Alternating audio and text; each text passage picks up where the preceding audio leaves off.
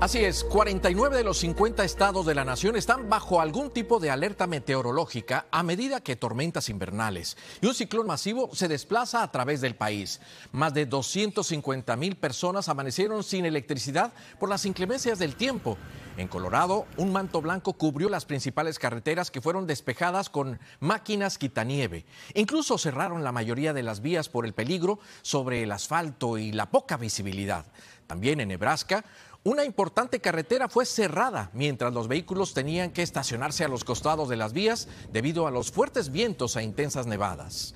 Una alerta de tormenta de nieve está aún vigente para Kansas, lo que obligó al Departamento de Transporte del Estado a cerrar la Interestatal 70 cerca de la frontera con Colorado debido a las peligrosas condiciones. En Luisiana, las inundaciones afectaron varias zonas y las carreteras se convirtieron en ríos con hasta dos pies de agua. Y en Texas, los fuertes vientos dejaron árboles caídos y daños materiales en edificaciones, incluidas viviendas en el área de Houston, por lo que expertos creen que se trató de un tornado. Con el pronóstico de las condiciones del tiempo, vamos directamente con nuestro compañero Carlos Robles, jefe de meteorología de Noticias Telemundo. Carlos, muy buenos días. Reportan un tornado incluso al norte de Florida, ¿no es así? Así es, a estas horas de la mañana, Martín, lo cierto es que se vive un brote de tiempo severo y el país luce como un árbol de Navidad pintado realmente con múltiples alertas de costa a costa. Se vive el impacto de esta tormenta invernal. Hacia el norte, desde Wichita en Kansas, en el centro del país, hacia Detroit y Cleveland, mucha nieve. Aquellos que tengan en los grandes lagos que salir a manejar. No utilice el manejo automático, evite los puentes, se congelan mucho más rápido y no presione los frenos abruptamente. Hacia el sur, vean ustedes lo que me comentabas, Martín, muchos tornados desde Luisiana hacia el Panhandle de la Florida. Ven esa poderosa línea de tormenta. Recomendaciones al buscar refugio. Es una mala opción quedarnos en casas móviles, vehículos de motor o en un puente. Los tornados van a continuar durante el día de hoy. Una buena opción es ir a un sótano, refugio y a un lugar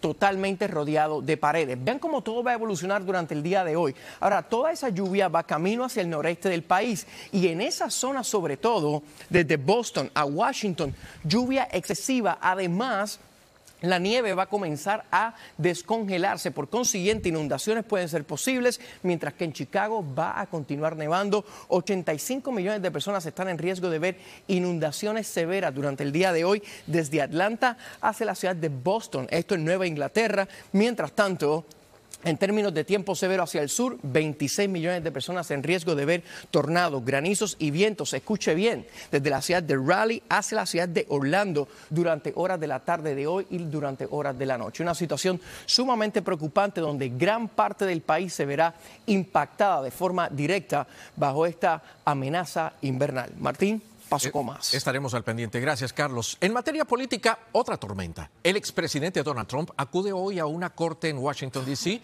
para hacer frente a las acusaciones de interferencia electoral. En esta comparecencia insistirá en su derecho a inmunidad. Damián Bonmatí nos acompaña desde la capital del país con más información. Damián, buenos días. Adelante.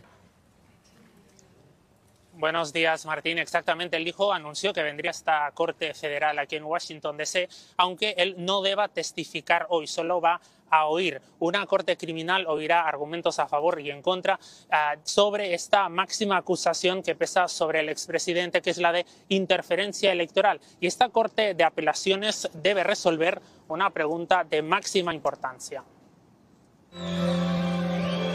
¿Puede Donald Trump ser perseguido criminalmente por acciones de cuando todavía era presidente?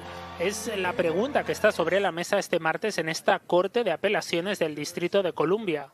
Una corte federal rodeada esta mañana de una gran expectación porque el expresidente Trump anunció que asiste a la audiencia. No hay un discurso que él pueda dar, no hay un comentario que él pueda hacer y no hay nada que él pueda decirle a su abogado para ayudarle porque son argumentos legales. Esta es la oportunidad de Trump para evitar ser juzgado por las acusaciones de que intentó revertir la victoria electoral de su rival Joe Biden. Es un caso de máxima importancia en este año electoral. El caso de Washington es más importante porque es el caso que atacó la democracia, fue el atento a un golpe de Estado. Ante la Corte de Apelaciones presentan sus argumentos abogados de ambas partes, tanto la defensa del expresidente Trump como el equipo del fiscal especial Jack Smith. Donald Trump dijo este lunes en redes sociales que sin duda tenía derecho como presidente a la inmunidad. Sostuvo que estaba buscando fraude electoral y dijo haberlo encontrado y que esa era su obligación como presidente. En el otro lado está el fiscal especial. Mantiene que Trump no tiene derecho a la inmunidad porque dice un expresidente puede ser perseguido por actos criminales y más si eran para mantenerse en el poder. Todo apunta a que la pregunta acabe sobre la mesa de la Corte Suprema durante esta campaña electoral sin precedentes. Y alrededor de la Corte estamos ahora periodistas y mucha más seguridad de lo que es habitual. La última vez que el expresidente estuvo en esta Corte en agosto sí vimos cientos de partidarios, de detractores. Hoy amanecemos aquí en la capital con frío y con amenaza de lluvias, así que se espera mucho menos movimiento alrededor del expresidente. Martín. Gracias, Damián, por el reporte desde Washington. En Texas, la explosión en un antiguo hotel de Fort Worth dejó al menos 21 heridos, algunos de ellos en estado de gravedad. Las primeras evidencias apuntan a una fuga de gas como causante de la detonación, aunque la investigación sigue en marcha. Fernando Mejía de Telemundo Dallas nos amplía. Este televidente que compartió su video con nosotros escuchó la explosión y al acercarse pudo ver cómo el humo salía del edificio y oficiales de policía con dificultad ayudaban a los heridos. Adam Wood dice que escuchó un fuerte ruido y que su carro se movió violentamente por el impacto. Desde el aire se puede apreciar la magnitud de lo dejado por la explosión. Algunos testigos dicen que minutos antes pudieron percibir un extraño y fuerte olor. Este testigo dijo que al pasar por ahí olió un fuerte olor a gas y minutos después escuchó la detonación. Trabajadores del hotel compartieron con nosotros los momentos de terror segundos de estar, eh, que acabamos de llegar a, la oficina, cuando de repente se escuchó la explosión. No, no vimos más que, mucho polvo, mucho humo y los gritos de, de, todas las muchachas que estábamos ahí. Y corrimos hacia las escaleras, pero las escaleras pues se habían caído.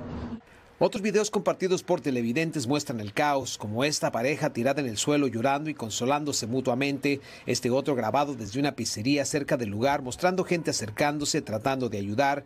Desde nuestro helicóptero pudimos captar cómo los paramédicos ayudaban a uno de los heridos trasladándolo en una camilla de emergencia. Los mismos empleados del hotel ayudaron en las labores de rescate. Pude ayudar a un señor que estaba, que tenía muchas cosas en su cara, muchos vidrios y pues mi jefa que también salió lastimada.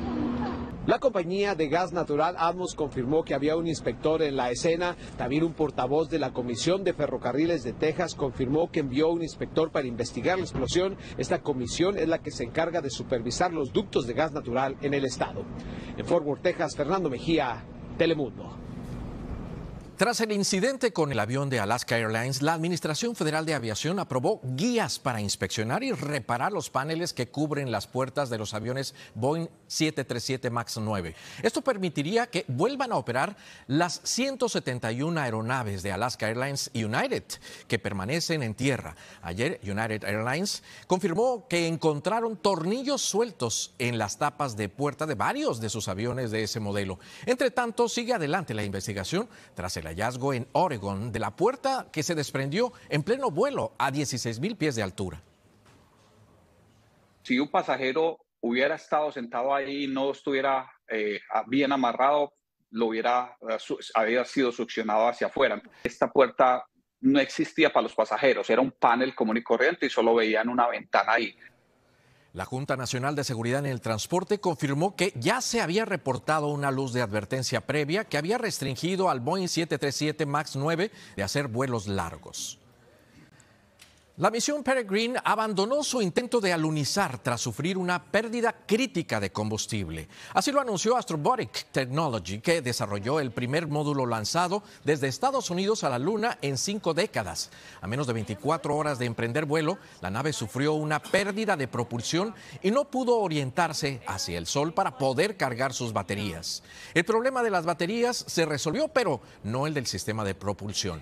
Astrobotic agregó que los propulsores solamente podrán funcionar durante unas 40 horas más.